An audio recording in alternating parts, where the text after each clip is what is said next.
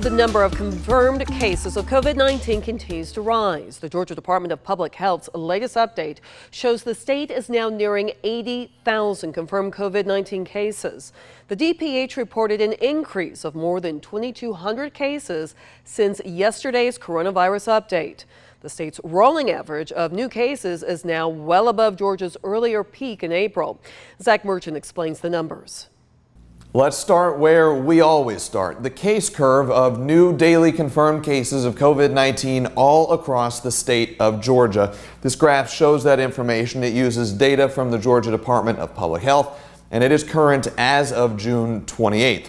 This section over here, marked out in orange, is the most recent 14 days of data. The DPH says the orange zone is incomplete because the data is still being counted and these preliminary figures are likely to increase. The seven day moving average of new confirmed cases has steadily risen since May 25th. And by June 15th, the last day before the orange zone, Georgia was averaging 1,000 new confirmed cases per day. North Central Health District spokesman Michael Hokanson said the increase is not just a result of expanded statewide testing. It's not the only factor in in um, in these new numbers. We know that with restrictions lifted, with people just getting tired, and cooped up, people are parties. They're they're going to celebration. From the week of June 14th to the week of June 21st, the number of total tests across the state rose by about 40%. In that same period, DPH data shows new confirmed cases increased more than 118%.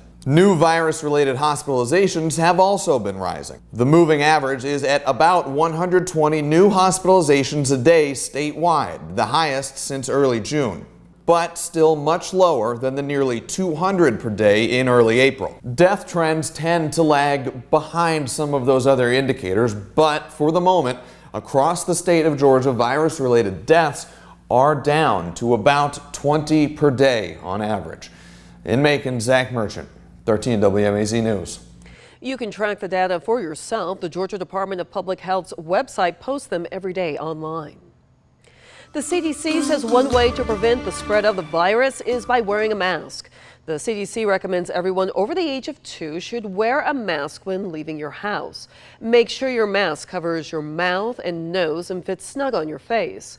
Cloth face masks may prevent spreading COVID 19 and should be washed after each use.